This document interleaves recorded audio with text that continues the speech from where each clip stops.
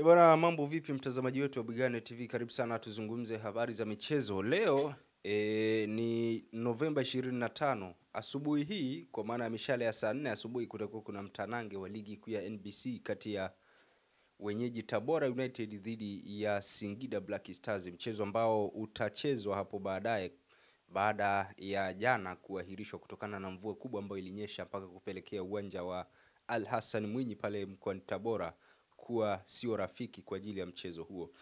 Na leo nipo na Mwayombo hapa, tunajadili mambo mbalimbali mbali ya kimichezo ambayo yamemake headline katika nchi yetu, lakini pia nje ya mipaka ya Tanzania. Mwayombo, mambo vipi? Mimi niko poa. Fresh. Kumekucha. Ya, ndio maana naona nimechangamka sana. Mm. Kipi ambacho kinakufurahisha hasa asubuhi hii ya leo? Ah, nafurahi kwa sababu saa nne nitaangalia mechi. Alafu kesho kuna mechi, kesho kutwa kuna mechi. Kwa mimi na enjoy. Mm. Bwana, mchezo huu kati ya Tabora United dhidi ya Singida Black Stars ulitarajiwa kuchezwa hapo jana, lakini hali ya hewa kwa maana ya mvua kubwa ikanyesha ikapelekea mchezo huo kuahirishwa. Leo hii unatarajia kuwa ni mchezo wa aina gani kwa timu hizi ambazo zipo kanda ya kati? mechi ngumu sana hasa ukizingatia mshikaji wetu Masanza ameahidiwa mke. Eh, jana jana jana alikuwa amevaa suti kabisa. amevaa suti kabisa. Eh, amepiga suti, ameenda uwanjani, akawa naamini anaondoka na mke lakini ilishindikana. Sasa muda umeenda bado kidogo tu, nafikiri bado kama masaa mawili hivi. e, ngoma hii ianze tena. Kwa hiyo inawezekana leo ikawa bahati yake. e, akaondoka na mke pale. Maana Christina Mwagala alimwambia Tabora United tukifungwa na Singida utanioa. Eh, utanioa. Eh, Kwa hiyo Masanza hapo alipo basi atakuwa anapiga dua eh, jambo litimie, timu yake ishinde ili aweze kupata jiko. Eh, la- lakini Yesu alitoa ahadi nakumbuka wakifungwa atavaa wigi. e, Ah, ilikuwa muda mrefu eh. E, kabla ya kuahidiwa kwamba ata, kabla ya kusema kwamba mm. atakubali kuolewa na Masanza alisema kwamba Masanza akifungwa basi atavaa wigi lake. Ah, eh, basi kuna vituko sana kwenye mpira wa Tanzania, ila mwisho wa siku ndio vinasababisha mechi hizi ziwe za mvuto, am, zina mvuto na zinavutia. Mm. Naam. Sasa bwana Mwayombo, kesho kutakuwa kuna mchezo wa ligi ya mabingwa barani Afrika, Young Africans dhidi ya El Hilal Omdurman. Tuanzie hapo, unatarajia kuwa ni mchezo wa aina gani kwa upande wako?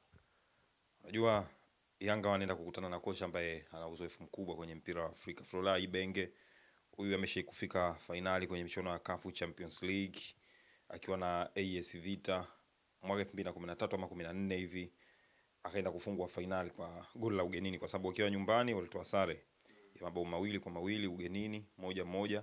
Ina maana wakawa wameshindwa kuchukua taji kwa sababu ya goli la ugenini. Kama Yanga ambavyo alifika tena walifutolewa na timu ya Algeria kipindi kile ilikuwa ES Setif nakumbuka. Yes ikachukua ubingwa. Na ni kama Yanga vile vile alienda kuwapa taji katika fainali ya kombe la shirikisho USMA ama USM Alger kwa kufungwa kwa bao la ugenini hivyo hivyo, anafungwa mbili moja nyumbani, ugenini anashinda moja bila. Mwisho wa siku haikumsaidia chochote, wa Algeria wanakuwa mabingwa vile vile. Kwa hiyo anaenda kukutana na yani, kocha wa Yanga anaufahamu vizuri mpira wa Afrika na hata Yanga kwa miaka miwili iliyopita umefanya vizuri kuliko Al Hilal.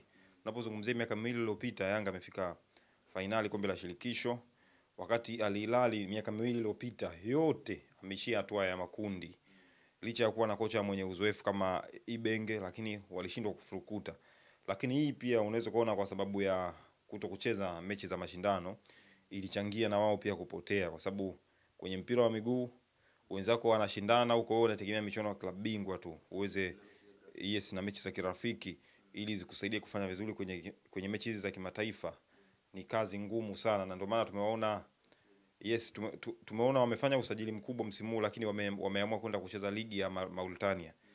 Hichi naamini kitawasaidia kwa sababu ligi ya Mauritania wameenda kuiongezea ubora wao na Elmelek, na vile vile wanapoanza kucheza hizi mechi za ligi kuna kitu ama kuna testi wanaiongeza kwa upande wao, kwa sababu kumbuka, ni moja ya timu ambayo ina kikosi kikubwa sana.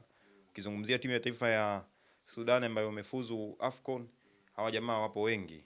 Una hebu angalia kwa mchezaji mmoja mmoja, kuna yule kama Mohamed Abdelrahman, yes, mmoja wa wachezaji wazuri sana, mmoja wa striker wazuri sana, umri wake unasogea, lakini analijua goli vilivyo. Yani ni mmoja wa wachezaji wenye utulivu mkubwa sana, na kumbuka Yanga wana rekodi nao eh, ama wana historia naye mara ya mwisho wanakutana kwenye michuano hii ya kafu Champions League aliwafunga nyumbani na ugenini. Yes, nakumbuka hapa ilipigwa cross kutoka upande wa kulia, Job akataka kuokoa, akampasia miguuni, akawafunga.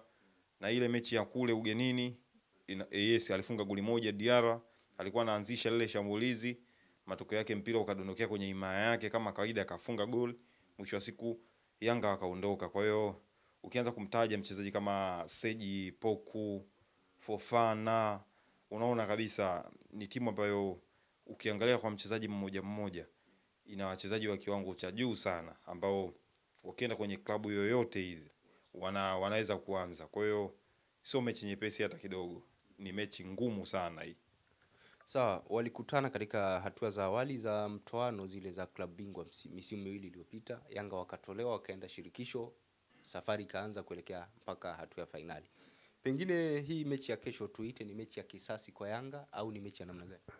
Ah, kwenye mpira wa miguu ukiweka kisasi unaweza ukapotea, kwa sababu zinakutana timu mbili zinazofahamiana. Al Hilal na Yanga wajaanza kukutana jana. E, ni miaka mingi. Zamani nakumbuka ile michuano ilikuwa inaitwa nini, Kagame, wameshaanza kucheza pamoja miaka mingi sana, wanajuana. Unapozungumzia timu ya Sudani, unapozungumzia timu ya Tanzania, zote ni timu za Sekafa, ina maana wanafahamiana, ina maana kila mmoja anajua, yani wao wa Sudani wanajua kabisa approach ya Tanzania ipo hivi na hivi, ndio maana huwezi kuona wanahangaika. Akija hapa kucheza labda na timu ya taifa wakija kucheza na Yanga, Simba na timu yoyote ile, wanajua kabisa staili ya uchezaji wa Tanzania wanacheza hivi na hivi. Kama wanapiga pasi nyingi, wanajua bana, hawa wanapiga pasi nyingi, lakini wao wanacheza tough football mara nyingi sana. Wafuatilie, ni timu ambazo zinapenda kukaa nyuma ama kucheza mpira wa mipango. Sudani wachezi show game, sio ile mpira wa kukuvutia, hapana. Wanacheza mpira wa mipango ule wa kukaa nyuma, wanakaa kwenye eneo lao, wanapanga mashambulizi kwa kasi, wanaenda kukushambulia.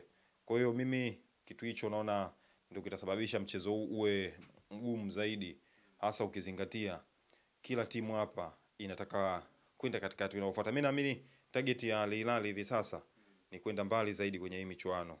Hawataki tena kuishia katika hizi hatua za awali. Al Hilal target yao kubwa ni kwenda katika hatua zinazofuata. Yanga target yake kubwa ni kwenda katika hatua inayofuata. Yanga ikionekana ameishia katika hatua hizi za awali atakuwa amefeli. Miaka miwili iliyopita Yanga amefanya vizuri kuliko Al Hilal kwenye hii michuano. Al Hilal mara nne mfululizo ameshindwa kuvuka hatua ya makundi. Nakumbuka alikuwa anatoka katika ile hatua ya makundi, wakati Yanga ndani ya miaka miwili iliyopita amefika fainali kombe la shirikisho, amefika robo fainali CAF Champions League. Mimi naamini target ya Yanga msimu huu ni nusu fainali, hata kama wao wanaweza kawa wanasema bwana, sisi tunataka kufika robo, lakini mimi naona kabisa Yanga akili yani kwenye akili yao wanawaza kabisa ile nusu fainali tunaweza kufika.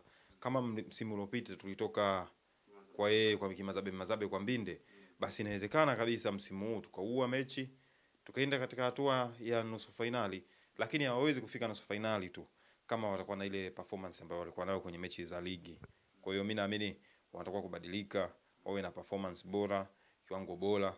Hii inaweza ikawasaidia waweze kufika mbali zaidi kwenye hii michuano ya kimataifa, licha kuwa wana mwalimu mgeni. Hapo hapo kwa upande wa kocha Ibenge ni kocha mzoefu sana kwenye michuano hii akiwa na AS Vita lakini pia akiwa na El Hilal Omdurman. Yanga wanaingia na kocha mpya ambaye hajawahi kushiriki michuano ya klabu bingwa wala michuano ya shirikisho barani Afrika. Kwa upande huo, unadhani mchezo huu unaweza kawa, ukawa mwepesi kwa, kwa upande wa walimu kwa maana ya Ibenge za- tofauti na kocha wa Yanga? Hapana, mimi, mimi, mimi sitegemei mechi itakuwa nyepesi kwa ndugu yangu Ibenge kwa sababu Yanga ni michuano, ni timu ambayo tayari inaijua hii michuano. Umeona? Kwa sasa kama wanaijua hii michuano basi lazima wacheze kwa kujituma sana, lazima wapambane, lazima waonyeshe kiwango bora sana kwenye hii michuano.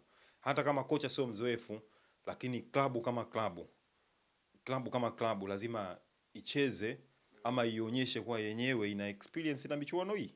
Sasa kwa mimi sioni kama mechi itakuwa nyepesi kwa Al Hilal. Ugeni wa mwalimu huyu kwenye kwenye michuano hii ya kimataifa hauwezi kukufanya wewe ukaamini moja kwa moja kwamba Yanga anaenda kupotea kwenye hii michuano. Hapana, mpira upo hivyo. Siku zote soka timu zinashindana ili kufanya vizuri. Kwa hiyo tumii mpaka wakati huu naamini bado Yanga ana nafasi kubwa ya kufanya vizuri kwenye hii michuano. Li, ap, yani, ah, timu zote mbili. Yani kwenye hili kundi lilivyo, mi naamini timu zote nne zinaweza kufuzu kwenda katika hatua inayofuata. Yani kila mmoja ana nafasi. Ya kwa sababu angalia Yanga ameshai kufika fainali kwenye michuano hii. Ukija alilali wote tunamjua kwenye michuano hii ya kimataifa. Anafanya vizuri, namaanisha Yanga kufika fainali kwenye michuano ya kombe la shirikisho. alilali mwenyewe ameshai kufanya vizuri kwenye michuano ya kombe la shirikisho, huku klabu bingwa MC Alger ameshai kuwa bingwa wa michuano hii, TP Mazembe, kila mtu anajua historia yake, na kwa hiyo mimi sitegemei kuona mechi nyepesi kwenye hii michuano. Lazima mechi zitakuwa ngumu, na hili kundi kila mmoja ana nafasi ya kwenda katika hatua inayofuata. Ndio maana ninakwambia hakuna mechi nyepesi kwenye michuano hii, na ndio maana nimekwambia Yanga akiwa na performance ile aliyokuwa nayo kwenye ile michuano ya kombe la shirikisho, yani kwenye michuano ya ligi, hawezi kutoboa kwenye ile kundi. Lazima kila mechi kwao iwe fainali, kwa sababu unacheza na mabingwa tupu, yani sio mabingwa tu, unacheza na timu ambazo zina uzoefu, zinaifahamu hii michuano eh, zina vikosi bora. Kwa hiyo kama watu wana vikosi bora, mm.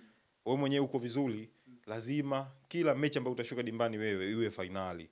Kitu cha kwanza, hakikisha nyumbani unachukua alama zote tisa, kwa sababu siku zote kwenye michuano hii ya kimataifa, kitu cha kwanza angalia nyumbani kwako unachukua alama ngapi? Tisa. Kwa wenzetu Ulaya wameshaondoka kwenye mpira wa nyumbani na ugenini. Ulaya mtu anakupiga popote, upo nyumbani kwako eh, anakukanda tu, wenyewe wanasema. Yani, na ndio maana wakaamua kulitoa goli la ugenini, lakini kwa huku kwetu bado Afrika nyumbani ni nyumbani, ya, nyumbani ni nyumbani, iwe timu ya taifa iwe klabu. Ndio maana unaweza kuona labda bingwa Ahal kimfuatilia, unaweza kuona anaweza akacheza mechi saba ugenini, katika hizo saba akashinda moja tu.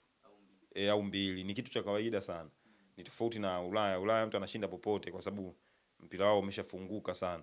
Kwa hiyo mimi naamini Yanga inatakiwa atumie vizuri uwanja wa nyumbani, lakini bado yote kwa yote hii ni mechi ngumu sana ambayo huwezi kuanza kusema moja kwa moja bana Yanga leo anapoteza ama Al Hilal leo anapoteza, kwa sababu zinakutana timu ambazo zinatokea kwenye mataifa yana yanajuana sana na klabu ambazo zinajuana sana, wameshacheza sana kwenye hii michuano ya kimataifa. Sawa bwana neno la mwisho sasa kwa mashabiki ambao wanaendelea kununua tiketi sasa kwa ajili ya kwenda kutazama mchezo huo hapo kesho unawaambia nini? Ya waka ujaze uwanja kwa sababu mwisho wa siku ili klabu yako ifanye vizuri lazima wewe shabiki uweze kuisapoti ama kuipa sapoti unapoishangilia klabu yako unaifanya iwe bora zaidi ama ifanye vema zaidi kwa sababu kumbuka shabiki siku zote ni mchezaji wa kumi na mbili ukitaka kujua hilo wale Al wangekuwa wanacheza hizi mechi za nyumbani kule kwao Khartoum. Basi nyinyi mnaweza mkaujaza hapa mkoa elfu sitini msishangilie kama wao. Wao uwanja wao unabeba watu elfu arobaini tu. E, lakini mkienda kwenye uwanja wao wa nyumbani mnaweza mkafungwa hata nje ya uwanja kwa sababu ya anikiza ambayo wanayo nje ya uwanja. Kwa hiyo mi naamini mashabiki wa yanga ni wakati wao kuipa heshima klabu yao. Miaka mitatu mfululizo imewapa mafanikio ina maana imewafanya wafurahi muda mrefu. Basi nao ni nafasi yao hii kujazana kwa wingi uwanjani. Sasa bwana, huyo ni Emmanuel Mwayombo akizungumzia mchezo wa kesho kati ya Young Africans dhidi ya El Hilal Omdurman ya pale nchini Sudani, lakini pia amegusia swala la mashabiki kwenda kuwapa sapoti wachezaji wao pamoja na benchi la ufundi wawaunge mkono ili waweze kufanya vizuri zaidi, huku akiwatahadharisha Yanga kwamba wakienda na performance ile ambayo walionyesha kwenye mechi za ligi dhidi ya Tabora United pamoja na Azam FC, basi huenda wakapasuka vibaya vibaya. Hii ni Bwigane TV, lakini pia usisahau kwamba baadaye kutakuwa kuna mchezo wa ligi kuu ya NBC kati ya wenyeji Tabora United wanakuambia nyuki hao dhidi ya Singida Black Stars ya Hussein Masanza. Ni vita wasemaji kati ya Christian, Christina Mwagala dhidi ya Hussein Masanza JR, ambapo baada ya mchezo huo mshindi aidha anaondoka na mume ama anaondoka na mke. Hiyo itajulikana baada ya dakika tisini. Hii ni Bwigane TV, endelea kutufuatilia katika mitandao yetu ya kijamii Instagram, Facebook pamoja na YouTube kwa jina moja la Bwigane TV. Enjoy.